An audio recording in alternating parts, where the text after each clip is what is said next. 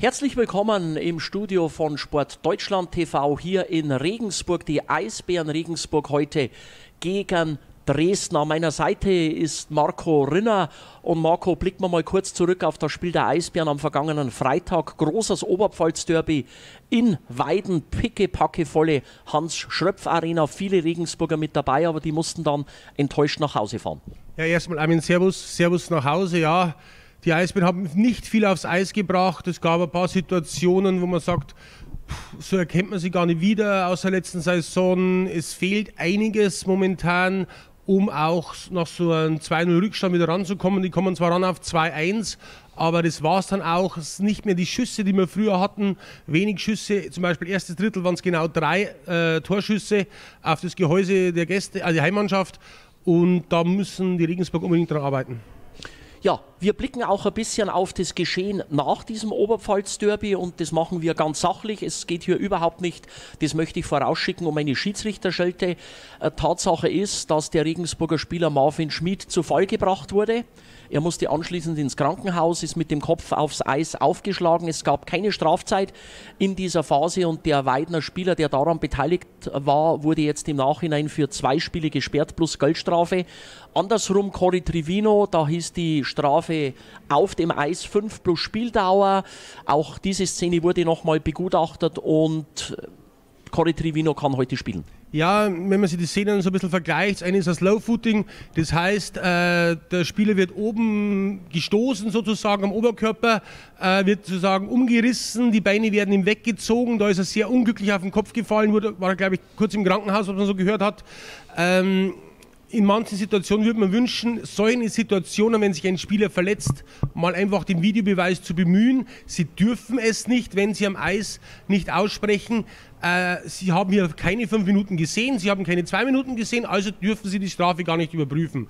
Wenn man in so einer Situation sagt, du, ich gehe mal raus, schaue mir das an und beurteile dann die Szene, dann wäre es vielleicht für die Regensburger besser gelaufen, weil wenn dann Bohac sofort fünf Minuten bekommen hätte, wären die Regensburger da fünf Minuten Überzahl gewesen sein. Und das war, es soll aber keine Ausrede sein. Also ich glaube, an den, also dieser Strafe äh, lag es alleine nicht. Ich bin gespannt, wie die Mannschaft heute gegen Dresden auftritt, bei denen auch zwei wichtige Spieler fehlen.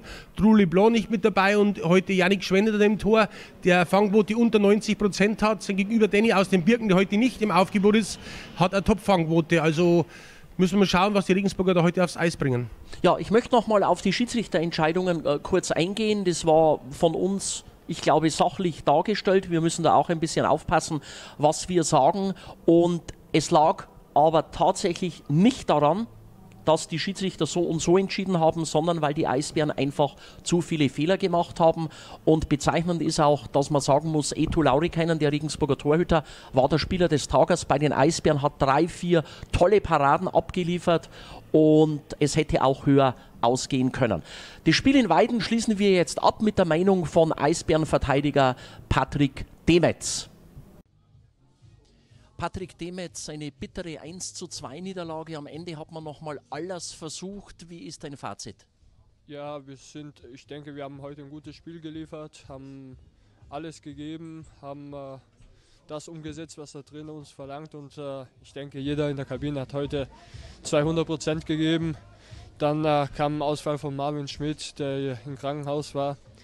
Und dann hatten wir auch einen dünnen Kader auf der Bank, aber wir haben niemals aufgehört, äh, Gas zu geben.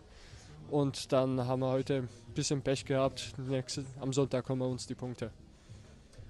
War die Verletzung von Marvin Schmid ein bisschen ein Schock für euch? Ja, du hast es bereits erwähnt, ins Krankenhaus gekommen. Ja, natürlich, das war ein Schock, aber wir halten alle zusammen. Wir hoffen, dass es Marvin gut geht und dann, äh, ja, wir haben einfach wei weiter Gas gegeben. Dankeschön, Patrick. Dankeschön. Dankeschön, Patrick Demetz. Und wir wollen ja nicht nur negative Sachen über die Eisbären berichten, sondern auch positive. Patrick Demetz, einer der wenigen Nationalspieler, die mhm. Im Regensburger Eishockey jemals vorgekommen sind, wenn ich so salopp formulieren darf. Er spielt für die italienische Nationalmannschaft, war auf Länderspielreise in Italien, Ungarn, genau in Ungarn.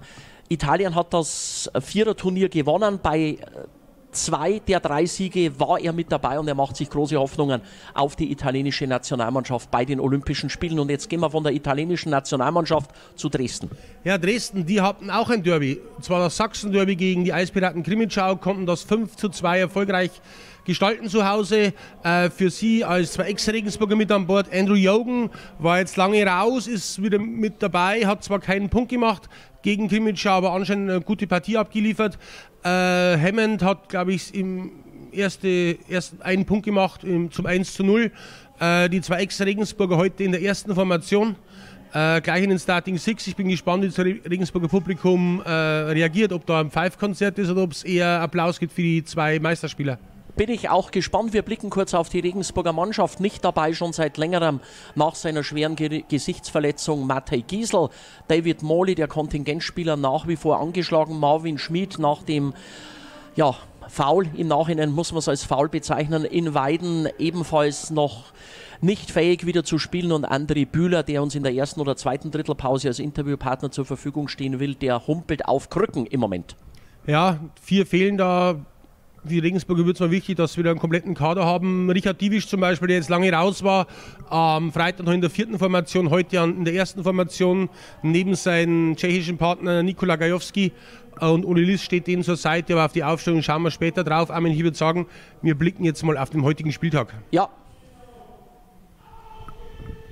ja, da einige Spiele, vier an der Zahl, beginnen um 17 Uhr. Krimitschau gegen Freiburg, die Eisbären gegen Dresden, Krefeld gegen die Füchse aus der Lausitz, EV Landshut gegen die Kassel Huskies und um 18.30 Uhr Nauheim gegen Rosenheim, selber Wölfe gegen Weiden, auch ein Derby und die Ravensburg Tower Stars. Ich glaube, das ist auch ein Derby in Bayern gegen Kaufbeuren.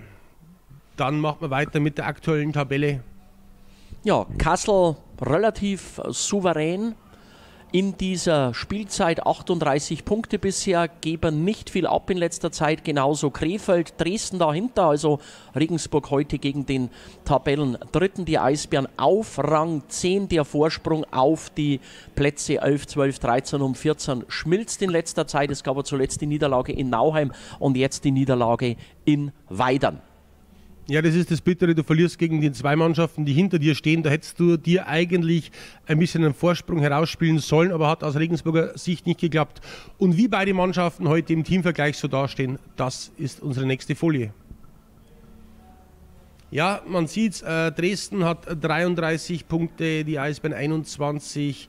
Äh, Dresden mit einem Spiel mehr, insgesamt elf Siege, Regensburger mit acht Siegen, vier nur in regulärer Spielzeit, viermal ging es da als den Sieg in Overtime oder Penalty schießen. Bei der Niederlage ebenso achtmal verloren, achtmal in Overtime oder Penalty schießen verloren. Die Dresdner äh, haben insgesamt neunmal bisher, im Gegensatz zu Regensburg, zwölfmal in die Overtime oder Penalty schießen gehen müssen. Die Tore neun mehr auf Dresdner Seite und ganze vier weniger bekommen. Also von den Toren her ist gar nicht so der große Unterschied. Aber war ein Unterschied ist in der Überzahlquote Armin, weil Dresden ist bei 23 Prozent, Regensburg knapp über 16 Prozent. Da müssen die Eisbären unbedingt noch ran und auch in der Unterzahl, da ist Dresden vor den Eisbären.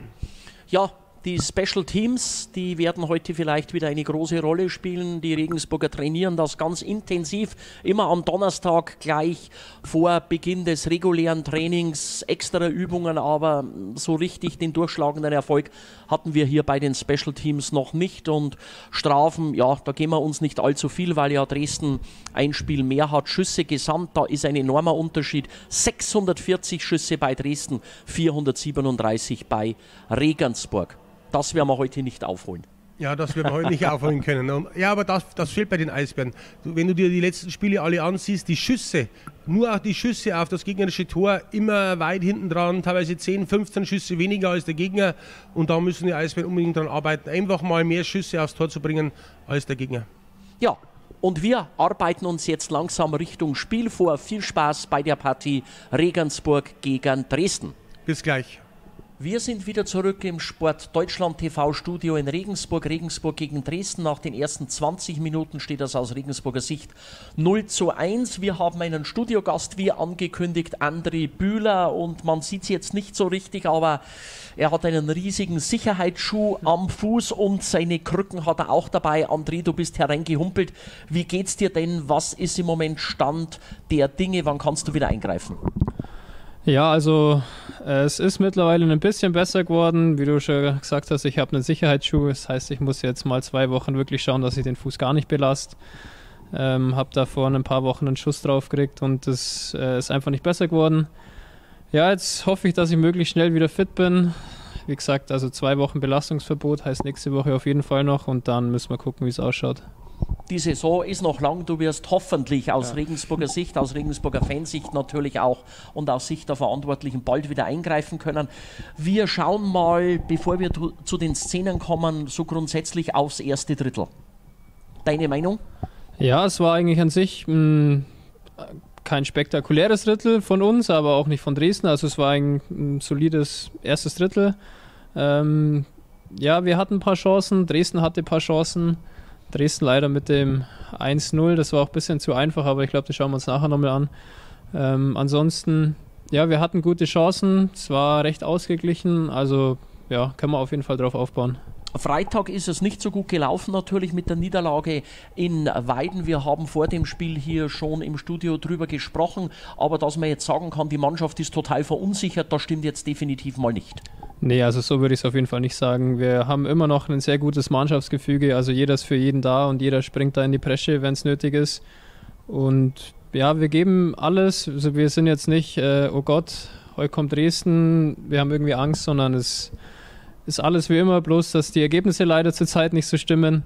Aber das versuchen wir natürlich wieder umzudrehen. So, Marco. Ja, wir haben vier Szenen vorbereitet, die analysieren wir zwei gemeinsam. Du nimmst den Hauptpart, weil ich habe es schon die ganze Zeit sprechen dürfen jetzt im Stream. Schauen wir mal drauf. Es gab erstens eine gute Chance für die Eisbären Regensburg. Ja, also super Chance, leider mit dem falschen Ende. Also 2-1, der Corey spielt den da echt gut rüber mit der Rückhand. Auch der direkte Abschluss, also nicht viel Zeit für einen Torwart zum Reagieren. Wenn der Schuss, sag ich mal, hochkommt, einfach in die rechte Ecke, dann ist er sicher drin. Genau das gleiche habe ich im Stream auch gesagt. Ja, ähm, so hält er natürlich mit dem, mit dem Schoner, weil er flach kommt. Aber gute Chance und den nächsten hauen wir rein. Und dann gab es den Treffer zum 1 zu 0 für die Eislöwen. Ja, also zu dem Tor, es war tatsächlich äh, zu einfach. Also ein Querpass bei uns durch, äh, durch die Trap durch und dann haben wir den Spieler in der Mitte verloren. Ähm, ja, es, es, war zu einfach. Also stand muss man der, einfach sagen. Stand der zweite Verteidiger schon ganz zu, zu, weit außen in der Szene, weil also in der Mitte war komplett alles frei. Ähm, ich habe es jetzt tatsächlich nicht genau gesehen. Ähm, aber ja, natürlich, der zweite Verteidiger muss normal, wenn der eine Verteidiger rausgeht, schon ein bisschen in die Mitte rücken. Hier hat man jetzt gesehen, dass der Gaio auch in der Mitte da gewesen wäre. Also vielleicht hat ein Gaio gesehen, aber in der Regel hast du schon recht, der zweite Verteidiger sollte ein bisschen die Mitte absichern, dass da nicht riesen Lücken entstehen, so wie hier gerade. Dann gab es einen Pfostenschuss, ich glaube Travis Turnbull war es, wenn ich mich noch richtig erinnere. Da blicken wir jetzt drauf.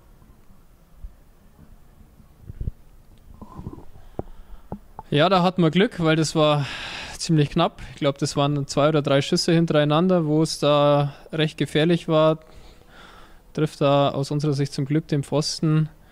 Ähm, schwierig für ein Etu, weil der Gegner direkt davor durch den Screen durchfährt. Also er hat die Scheibe überhaupt nicht gesehen. Auch hier, wenn der aufs Tor kommt, ist er auch sicherlich drin. Ähm, ja, haben wir ein bisschen Glück gehabt. Und dann habe ich mir noch eine Szene vorbereitet äh, zwischen Dan Fox und Sean Geis. Da schauen wir mal genauer drauf, weil für mich war es eine Fehlentscheidung der Schiedsrichter, denn Fox gibt da erst drei, vier Mal den Crosscheck auch zum Gesicht. Wir sehen es jetzt hier unten in den Slot schauen. Der erste, dann kam der zweite, dann der dritte. Ja. Und jetzt wieder und dann liegt er am Boden, geht nochmal nach und jetzt kriegt er die Strafe für Halten. Ja, also ich meine, ähm, völlig falsch eingeschätzt, muss man jetzt auch ehrlich sagen, weil wenn der andere Spieler einen einfach versucht, drei oder viermal in den Rücken zu checken oder dann Richtung Gesicht geht und man dann den Schläger vom Gegner festhält, dann beschützt man sich einfach nur selber und will da irgendwie keine Strafe ziehen, sondern das war einfach ja, Selbstschutz und dass er dafür dann zwei Minuten kriegt, war peinlich. Dann geht es jetzt gleich weiter. Eine Frage noch an dich. Wie geht's aus? reißt Regensburg das Ruder noch rum? Ja, also ich glaube, heute ist auf jeden Fall was drin. Wenn wir jetzt die Chancen, die wir gesehen haben, es waren auch noch sonst ein paar gute Chancen, ein paar gute Tippschüsse. Ähm, hoffe ich, dass wir natürlich ein paar Tore machen. Ich sage, Dresden schießt jetzt hoffentlich keins mehr. Also gehen wir mal mit einem 3-1 für uns. Danke dir. Bitte. Das war unsere Analyse nach dem ersten Drittel, nach 20 Minuten hier in Regensburg. Regensburg gegen Dresden 0 zu 1. Wir sind wieder zurück im Studio von Sport Deutschland TV. Regensburg gegen Dresden. Der Spielstand nach 40 Minuten, Marco, aus Regensburger Sicht natürlich total unbefriedigend. 0 zu 2. Dein Fazit vom zweiten Drittel. Das erste Drittel hat ja Verteidiger André Bühler schon gut zusammengefasst. Der war Studiogast hier. Ja, das Fazit ist, dass die Regensburg ihre wenigen Chancen nicht nutzen, die Schüsse nicht auf den Torhüter kommen, sondern am Tor vorbei. Man hat explizit bei dem Tor von Dresden gesehen, der Schuss kommt flach, kommt auf den Torhüter, der kann in dem Fall nur prallen lassen und den Rebound verwertet er selber. Und die Eisbären, nehmen wir mal Trivino am Tor vorbei, Slessak am Tor vorbei, äh, die Schüsse kommen gar nicht zum Torhüter hin, also zu ungenau einfach und auch im Passspiel, äh, Powerplay. Du kommst ins Powerplay, äh, kommst in die Aufstellung und dann wieder der Fehlpass. Du holst dir die Scheibe, kommst dich ins Drittel, fährst wieder raus, baust wieder neu auf. Und da stimmt halt momentan einfach vieles nicht zusammen. Um überhaupt eine Chance, wie heißt das so schön in der Reportersprache, zu kreieren, haben die Regensburger einen unglaublichen Aufwand zu betreiben. Das dauert ewig, bis man dann überhaupt in Schussposition ist. Dann zieht man riesig aus, zum Beispiel Olli Liss, und dann gibt man wieder ab. Ja, es sind so Szenen, du sagst gerade, Olli Liss, der kriegt die Scheibe an der blauen Linie in Überzahl, die springt ihm an den Schlittschuh, äh, wenn du vorne äh, und den ersten drei bist, dann bleibt die Scheibe drin. Was passiert? Die Scheibe geht raus. Wieder zurück, wieder Neuaufbau. Äh, es gab auch schon die ersten Pfiffe im Stadion im Powerplay, weil es einfach alles viel zu lange dauert, bis sie überhaupt in die Aufstellung kommen, bis sie reinkommen. Wenn Dresden Überzahl ist, äh, die haben jetzt auch nichts Besonderes gemacht, aber die sind sofort in der Aufstellung ein, zwei schnelle Querpässe und schon sind die im Drittel drin. Äh, für mich ist es ein bisschen zu defensiv. Äh, mir, Dresden steht mit drei Spielern hoch, wir stehen mit äh, fünf Spielern tief. Und das Vorchecking von Dresden, die kommen gut rein, die lassen die Regensburger gar nicht aufbauen. Und das fehlt mir einfach ein bisschen. Dresden kann ganz einfach, locker, lässig, leicht aufbauen. Ja, mit ganz einfachen Eishockey. Wir schauen uns ein paar Szenen an. Wir beginnen äh, mit einer Chance für die Gäste. Ja, gut gemacht von Turnbull, legt die Scheibe durch die eigenen Beine zurück, dann der Abschluss, starke Parade von Laurikainen, der eine überragende Partie macht, bekommt sehr, sehr viele Schüsse auf sein Gehäuse und an den beiden Treffern ist er einfach machtlos. Den ersten kann er nicht sicher haben und den zweiten auch nicht. Man hat es da jetzt wieder eindeutig gesehen. Dresden ganz schnell im Abschluss, da ist man drin im Drittel. Dann kommt ein kleiner Querpass über zwei, drei Meter und es wird sofort geschossen ja, ohne jetzt die Eisbären verteufeln zu wollen, wir hätten wahrscheinlich Scheibe angenommen, nochmal geschaut, geschaut, gepasst und wäre vorbei gewesen. Dann haben wir eine Chance vorbereitet von den Eisbären Regensburg. Abschlussversuch da, aber es war nicht der Abschluss, war der Querpass äh, auf Ryan Moser. Der bringt den Schläger rein, aber nur so, dass, dass er keinen Druck hinter die Scheibe bringt, weil der Pass kommt zwar super gut auf seinen Schläger, aber er bringt halt den Druck nicht, den nötigen nicht rein, war ein bisschen weit weg vom Tor. Wenn der vielleicht ein, zwei Meter weiter vorne im Slot steht, dann hat der Torhüter gar nicht mehr die Reaktionsmöglichkeit, den so einfach zu parieren. Und was du vorher angesprochen hast mit dem Abschließen, da gab es eine Szene im ersten Drittel, Nikola Gajowski, super guter Move im Mitteldrittel, fährt allein rein, der eigene Verteidiger versperrt die Sicht vom Torhüter und er passt wieder. Das macht halt Dresden anders, die nehmen da den Abschluss, da kommt nicht mehr nochmal der Querpass, nochmal links, nochmal rechts, sondern einfach der Abschluss. Dann gab es das Tor für Dresden zum 2 zu 0. Oder die Szene zur Strafzeit. Strafzeit. Schauen wir mal, was die Regie einspielt.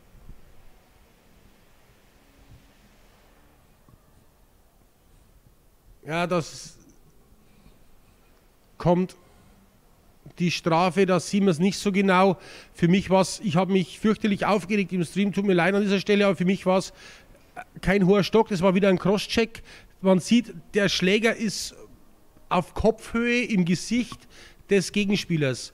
Und für mich ist das keine 2 plus 2 hoher Stock, weil hoher Stock ist für mich unbeabsichtigt, wenn ich vielleicht um die Scheibe kämpfe oder so, aber da geht der Schläger bewusst nach oben und geht zum Kopf des Gegenspielers. Für mich sind das 5 plus Spieldauer, zumindest 5 Minuten.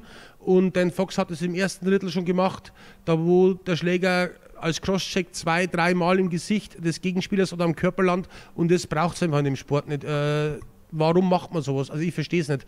Und das Problem ist wieder, die Schiris entscheiden auf dem Eis 2 plus 2 hoher Stock, dann dürfen sie die Szene überprüfen und überprüfen die Szene, war es ein hoher Stock oder war es kein hoher Stock. Wenn sie rausgehen, wir überprüfen jetzt 5 plus Spieldauer, dann können es auch 5 plus Spieldauer geben, aber in dem Fall bin ich nicht hundertprozentig sattelfest, aber ich glaube, da dürfen sie es gar nicht machen. Es gab 2 plus 2, Regensburg dann in Überzahl mit ein, zwei guten Gelegenheiten, aber dann Strafzeit gegen Jakob Weber und letztendlich in der Schlussphase des zweiten Drittels dann Unterzahl dadurch durch diese Strafzeit von Jakob Weber der Regensburger und dann schlägt es ein.